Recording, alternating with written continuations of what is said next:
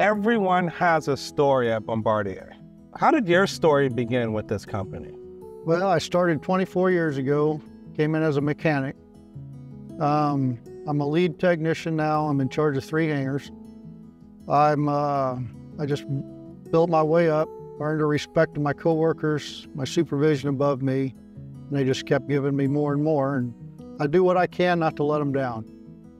At the end of the day, you all have to figure out how to safely get people from point A to point B.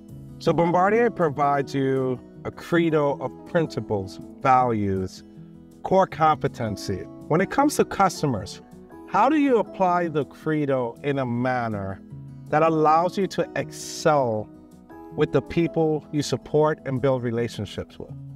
I think integrity has a lot to it, and communication's a big factor in it. I try to be upfront with my customers, you know, so there is no surprise.